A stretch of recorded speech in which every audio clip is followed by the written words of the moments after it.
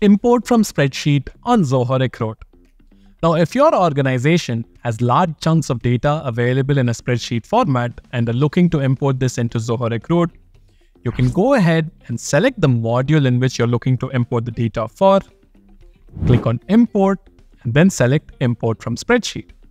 You can then review the various spreadsheet formats that are applicable within Zoho Recruit and the size limit as well. Click on browse, select your spreadsheet and upload it.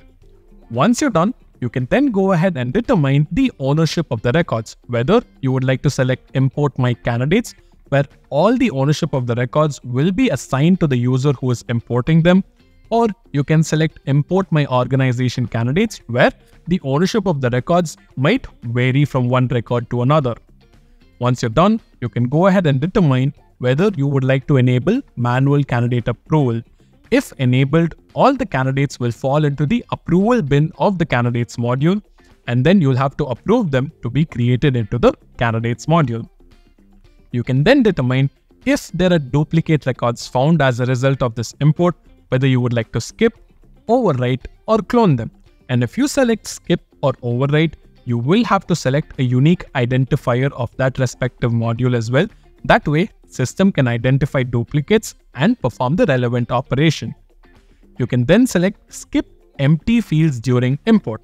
Now for example, if a record already exists within Zoho Recruit and you have the same record available on a spreadsheet, but you might have one or two columns where the cells are going to be empty.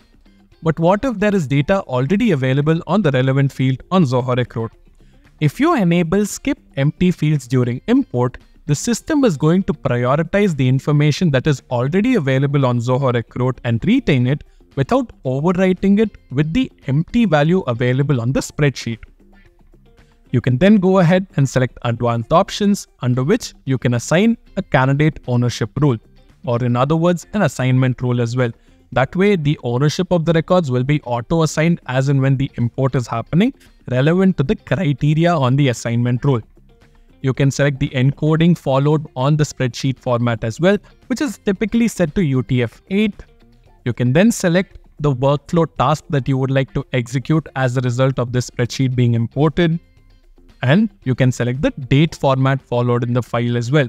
Now keep in mind, whatever date format that you select here has to be universally followed across all the date data available on the spreadsheet. Any mismatches will create errors for you during your import. Once you're done, you can also select the job opening to which you would like to attach candidates to from the spreadsheet import and keep in mind you can only select one job opening. You can then select the source from which you've arrived at these candidates from or this can be a column on your spreadsheet as well if you choose to skip it at this portion. And you can add any relevant tags as well. Once you're done, you can go ahead and click on next and confirm and because we selected import my organization candidate and we selected assignment rule, we do not have to map the candidate owner. But if no assignment rule was selected, you need to have a column on your spreadsheet where the emails of the users are going to be listed. That way, the ownership will be assigned automatically. You can then go ahead and map the columns on your spreadsheet to the relevant fields as well. And if there are any attachments that you would like to import against specific attachment categories as a result of these spreadsheet import, you can scroll down to the bottom of the page where you can see different attachment categories available. Now for each of these attachment categories, you can create a column on your spreadsheet and against each of the rows or records, you can add the file name that needs to be mapped to that particular record. Once you're done adding the file name, you can go ahead, map that column to the relevant attachment category and to the right of it, you can browse and upload a zip file that contains the actual file itself. That way, when you click on next and run your import, the system is going to cross-reference the file name available on that particular column against the record with the zip file available and when it finds a matching file, this file is fetched from the zip file and mapped to the relevant record during the import process.